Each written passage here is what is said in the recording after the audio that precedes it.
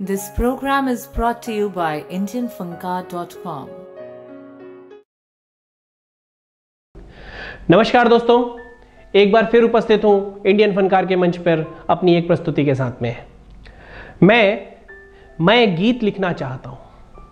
मैं एक गीत लिखना चाहता हूँ, एक ऐसा गीत जिसके अंतरों में तुम नहीं हो, तुम्हारी याद का कोई पल नहीं है।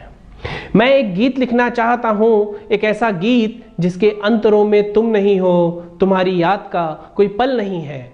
मैं लिखना चाहता हूँ मंदिरों की घंटियों पर।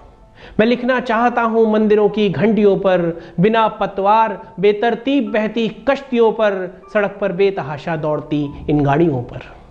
मैं लिखना चाहता हूँ मंदिरों की घंटियों पर, बिना पतवार, बेतरतीब, बहती कश्तियों पर, सड़क पर बेतहाशा दौड़ती, इन गाड़ियों पर जमी से आसमां को चूमती, ऊँची छतों पर, ये जो फुटपाथ पर कोहरे की चादर में लिपट कर ये जो फुटपाथ पर कोहरे की चादर में लिपटकर अलाव के किनारे तप रही हैं मैं ऐसी सर्दियों पे गीत लिखना चाहता हूँ। मैं गीत लिखना चाहता हूँ। मैं सच में गीत लिखना चाहता हूँ।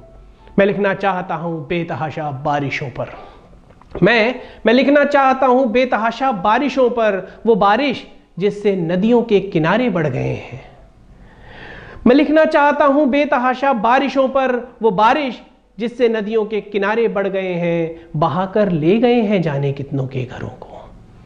बहाकर ले गए हैं जाने कितनों के घरों को और उन बेघर किसानों की, जिन्हें दो जून की रोटी भी अब हासिल नहीं है।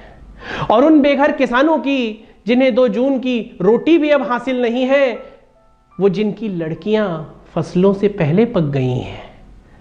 मैं लिखना चाहता हूँ, बेतहाशा बारिशों पर, वो बारिश जिससे नदियों के किनारे बढ़ गए हैं, बहाकर ले गए हैं जाने कितनों के घरों को और उन बेघर किसानों की जिन्हें दो जून की रोटी भी अब हासिल नहीं है, वो जिनकी लड़कियाँ फ़सलों से पहले पक गई हैं, मैं उनकी लड़कियों पर गीत लिखना चाहता हूँ। मैं गीत लिखना चाहता हूँ, एक ऐसा गीत जिसके अंतरों में तुम नहीं हो, तुम्हारी याद का कोई पल नहीं है।